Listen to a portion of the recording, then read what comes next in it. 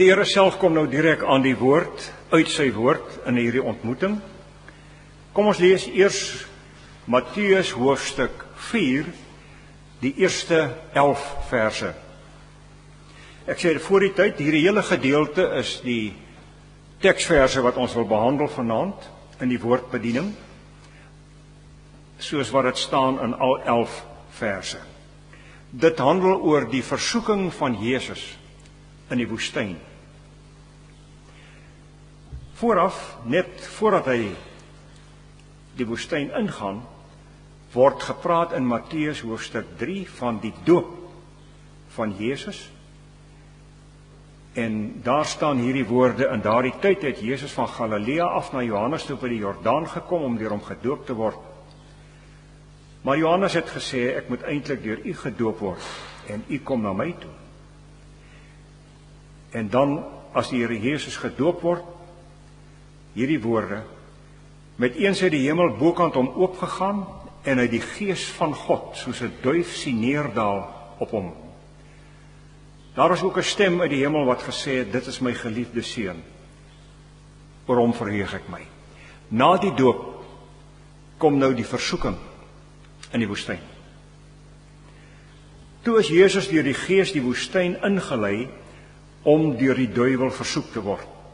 40 dae en 40 nagte het hy niks geëet nie. En naderhand het hy honger geword. Die versoeker het toe gekom en vir hom gesê: "As u die seun van God is, sê hierdie klippe moet brood word." Maar hy antwoord: "Daar staan geskrywe: 'n Mens lewe nie net van brood nie, maar van elke woord wat uit die mond van God kom." Daarna neem die duiwel hom na die heilige stad toe en laat hom na die heilige en laat hom op die hoogste punt van die tempel staan en sê vir hom as u die seun van God is spring af. Daar staan mos geskrywe hy sal sy engele oor jou opdrag gee en op hulle hande sal hulle jou dra sodat jy nie jou voet teen 'n klip sal stamp nie. Toe neem die duiwel hom na 'n baie hoë berg toe, wys hom al die koninkryke van die wêreld met hulle pragt en sê vir hom: "Dit alles sal ek vir u gee as u neerval en my aanbid." Maar Jesus sê vir hom: "Gaan weg, Satan, want daar staan geskrywe: Die Here jou God moet jy aanbid en hom alleen dien." Daarna het die duiwel hom met rus gelaat en daar het engele gekom en hom versorg. Dan 'n enkele vers uit Hebreërs 11 verse 1 en 2. Die enigste definisie van geloof in die Bybel staan hier. Hoewel die Bybel vol is van die saak van geloof. Om te glo is om seker te wees van die dinge wat ons hoop om oortuig te wees van die dinge wat ons nie sien nie. Sommers van wie hulle geloof dat daar oor die mense van die ou tyd met soveel lof getuig is. Hierdie woorde om te glo is om seker te wees van die dinge wat ons hoop. Letterlik staan daar geloof is 'n bewys van die dinge waarop ons hoop. Geliefde gemeente, Kom ons doen eers 'n bietjie hersiening. Nee, ek weet ons is nie in die skool nie. Ons kinders ken seker die woord hersien baie goed. Kom ons doen baie vinnig hersiening van die woordbediening die afgelope 2 Sondae in ons gemeente. Al 4 keer het die woordbediening eintlik gekom uit die evangelie van Matteus.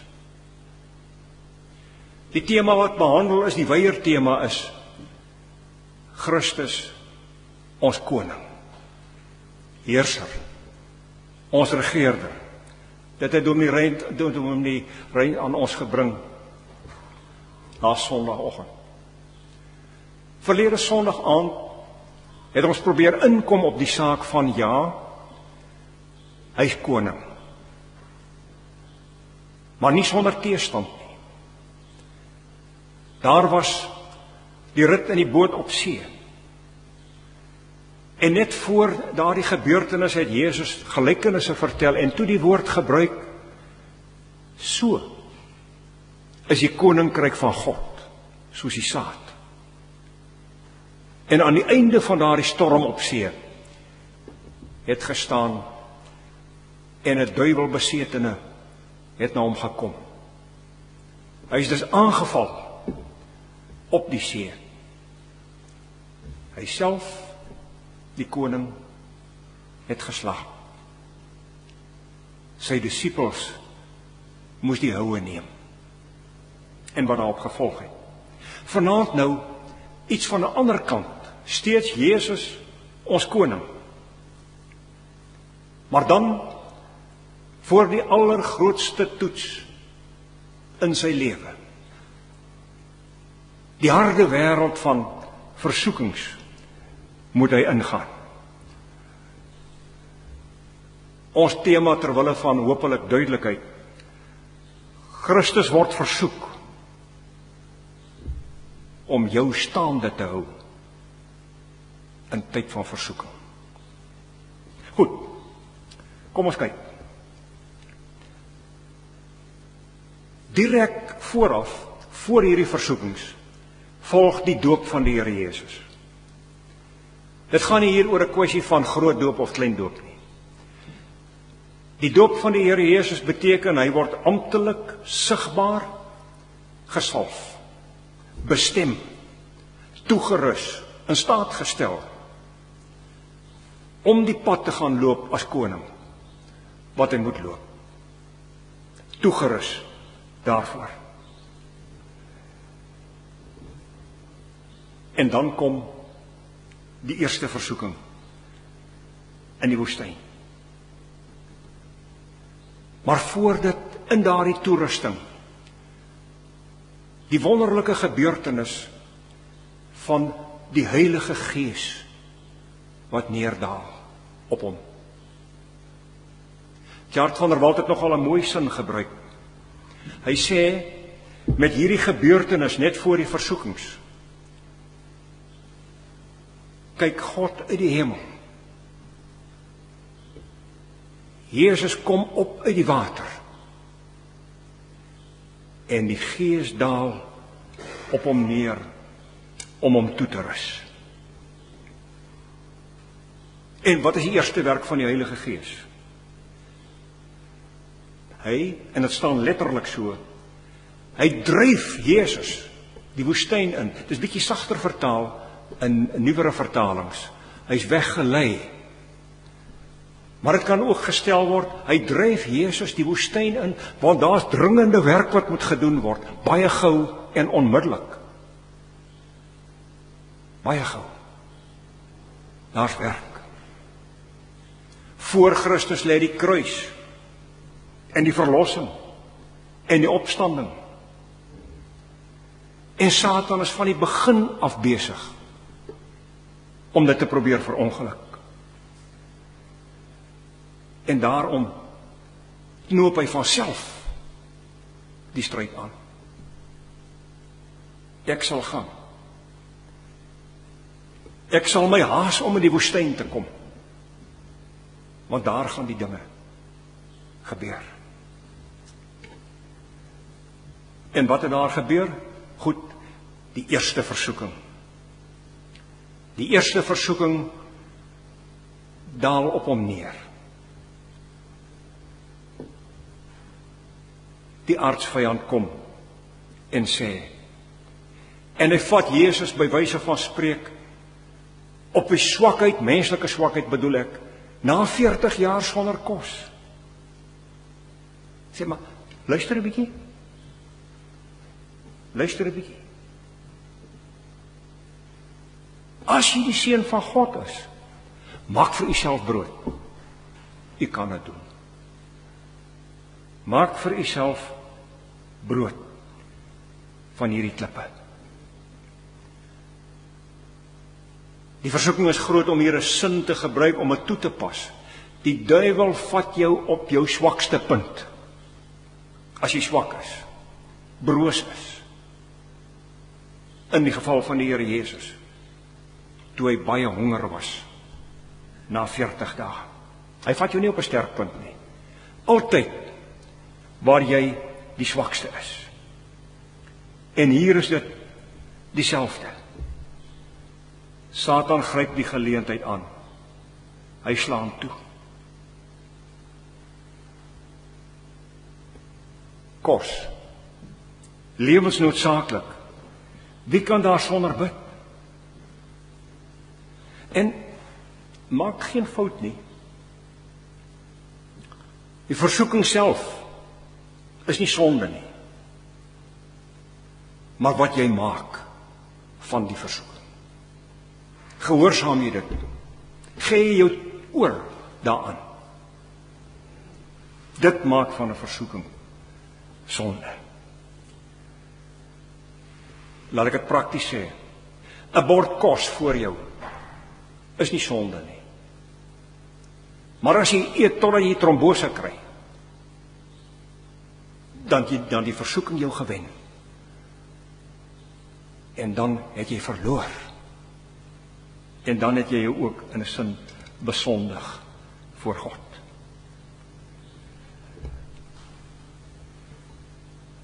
Hier's 'n bietjie 'n ander wêreld wat ook lê hier. Hierdie eerste versoeking. Die heel eerste versoeking was in die paradys. En die heel eerste versoeking het te doen gehad met eet.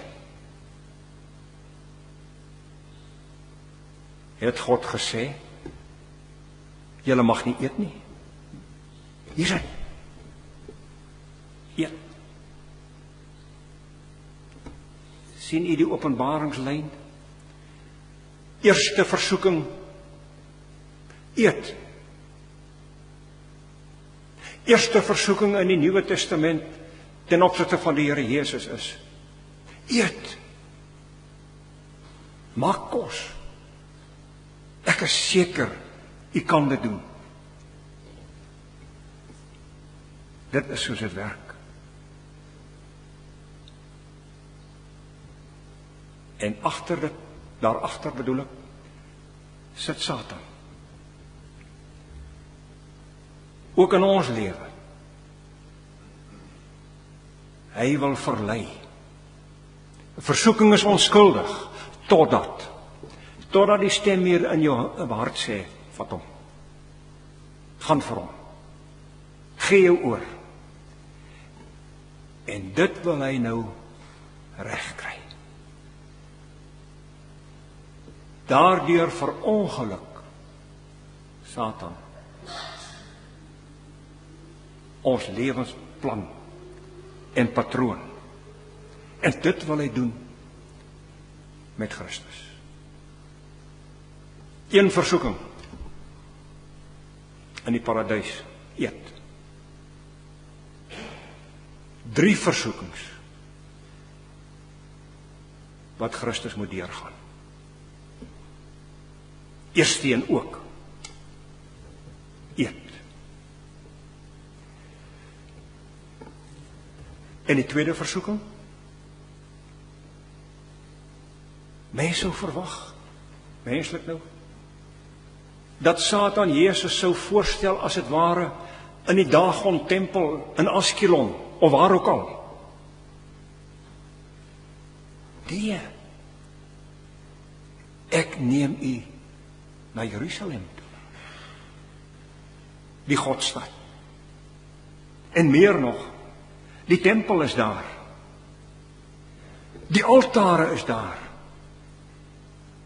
Duisende diere het gesterf daar om met hulle bloed te betaal as 'n vooruitgryping op hierdie Christus wat jy wil verlei.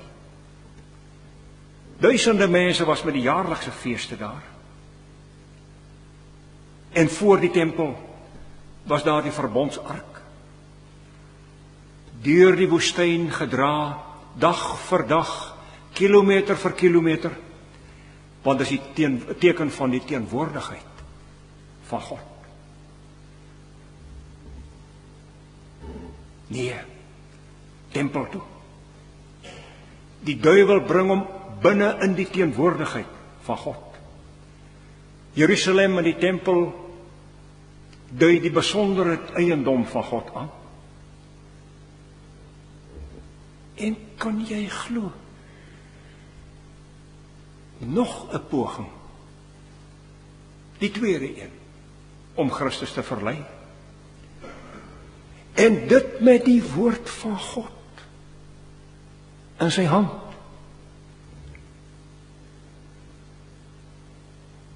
Dit met die woord van God. Na die dak van die tempel. So 15 na 20 meter bo die grond. Spring af vir u is hier geen gevaar nie. U is veilig. Spring. Maar wat sit hier in? In hierdie opdrag van hom, versoek as dit ware. Bewys jou geloof. God het dan gesê ek sal julle staande hou. Ek sal jou op die hande dra. Hy het dit dan gesê. Bewys jou geloof. As jy spring, bely u ek glo u woord, Here. Ek glo. Daarom doen ek dit. Intussen en dis die swaarste aanslag wil hy Christus verlei tot ongeloof. As Christus sou spring sou hy sê ek wil sien. Ek wil nie net meer glo nie. Ek wil die onsigbare sien.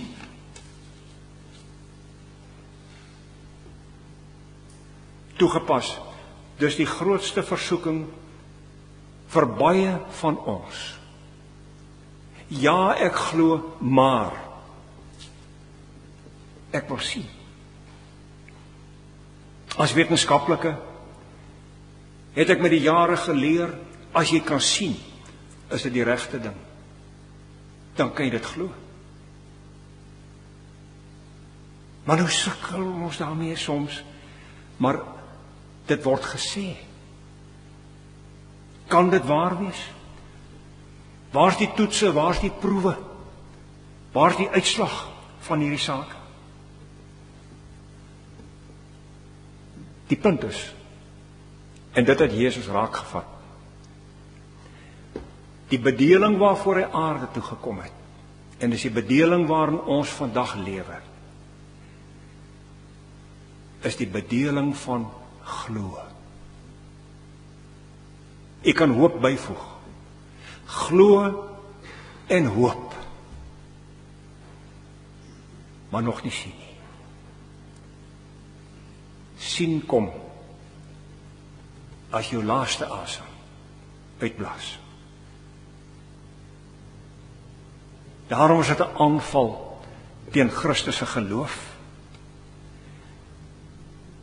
En wat geld nou vir ons? Hoe werk dit met ons hierdie saak? Glo net. Daai enkele vers uit Hebreërs waaroor jy seker 20 preke kan maak. Geloof is 'n bewys van dit waarop ons hoop. Die hoop bedeling. Luister weer, geloof is 'n bewys van dit waarop ons hoop. Daardie uitdrukking bewys was in die tyd van die Nuwe Testament gebruik deur die prokureurs in ons terme nou. Om vir iemand die kaart en transport op te stel en in sy hande te gee. Sê hier's dit. Dis jou bewys. Of as ons met ons kat kat katkesante praat, sê as jou pa jou bring hier in die Kaap en hy sê hierdie grond gee ek vir jou. Jy's nog op skool. Jy het nog nie 'n inkomste nie. Maar hierdie grond gee ek vir jou. Jy bly nog nie hier nie. Jou huis is nog nie hier nie. Maar hier is die bewys. Prokureursbewys. Kar en transport. En dit is ons bedeling, dit was Christus se in hierdie bedeling. Nog nie die sien bedeling nie. En die duiwel wou dat hy gesien het. Dit is swaar vir ons. Baie kere ons maar net sê as ek tog net kan sien waar my dierbare is. Waar my kind is wat verongeluk het. Waar my pa is, waar my ma is. Jy sien nog nie. Jy sien die kaart en transport. En nou net baie kortliks die derde versoeking. Die duiwel neem hom toe na die heilige stad toe en laat hom op die hoogste punt van die berg staan en sê vir hom: Al die koninkryke van die wêreld is vir u as u neerval en my aanbid. sien jy wat doen hy? Nou laat ek u sien. U op aarde is dit die geloofsbedeling. Maar nou hier op hierdie berg laat ek sien al die koninkryke van die wêreld. Ek gee dit vir u. My woord is my bewys. As u neerval en my aanbid. Asof hy wil sê aanbid my en ek maak u my hoofuitvoerende beampte my HUB in ons taal in ons besigheidsterme. So werk dit hy wil hom in besit hê. Die duiwel wil die koning wees en daarom praat ons nie net van 'n anti-kris of 'n anti-kristus nie het ek laasweek gesê. Maar hy wil plek wees Hy wil koning wees in die plek van Christus. Nie net teen hom nie, in sy plek. En dan regeer op die wêreld. En so gemeente lyk dit my hoewel daar nog baie stof is wat ons kan behandel. Trek die lyne saam in daardie een woord of een sin Jy word versoek. En hoe is Jesus nie versoek nie? Christus word versoek om jou staande te hou in tye van versoeking. Saamgevat. Adam eenmal versoek. Christus driemaal versoek. En het u en is my iets van die hoogtepunt in hierdie deel en kyk 'n bietjie na die beweging. Die rigting in hierdie teks. Uit die tuin van Eden na die woestyn. Uit die woestyn terug na Eden toe. Hoor hierson. Na die versoekingsvers 11 het die duiwel hom met rus gelaat en dan die woorde. En daar het engele gekom en hom aanbid. Engele kom hom aanbid. So was dit mos nie paradys gewees. Mag ek dit vir u sê? Die paradys is in beginsel terug. Engele het gekom. Jesus het oorwin tot 3 maal. Ons aanbid U. U die paradys oopgemaak. As daar weer so 'n harde, swaar versoeking kom, Kyk 'n bietjie. Kyk 'n bietjie. sien jy daardie daardie oop deur wat agter Adam en Eva gesluit is sien jy die engele daar dis hulle wat jou verseker die kaart en transport van die nuwe paradys. Is vir jou. Glo jy dit? Ons dank U Here vir oomblikke soos hierdie. Oomblikke waarin ons ja verwonderd kon staan weer eens oor U pad in die verlossingsweg met ons. Ons kan maar net bid dat ons ons oog gerig sal hou op hom wat alle versoekings oorwin het. En dat ons die pad sal loop na die nuwe paradys waar daar geen versoeking nie maar net dank en lofliedere sal wees. Amen.